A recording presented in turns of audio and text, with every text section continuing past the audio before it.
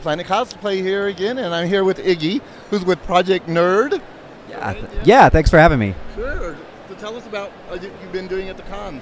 Um, well, we we've had a great show today so far. We love coming out to Denver Comic Con. This is our third year here, one of our favorite shows. And a little bit of what we do at all the shows is we do uh, floor galleries of cosplay. We'll have photographers with us that'll do some other galleries, uh, but a lot of interviews, uh, cosplay interviews, even on video, and some of our original video content will come out of the convention coverage we do.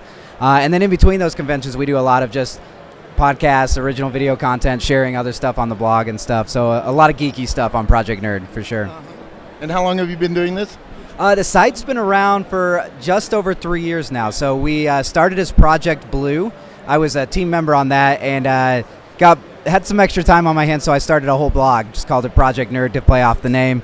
Uh, and then it's kind of grown and swallowed Project Blue and many of other adventures we had started. So Oh, well, thanks for taking a little time and talking to us. What's your social media sites? yeah, thanks for having us. We are at uh, projectnerd.com. It's project-nerd.com. Uh, you can also catch us on Facebook at uh, slash Project Nerd blog. Twitter is Project Nerd, and Pinterest is Project Nerd.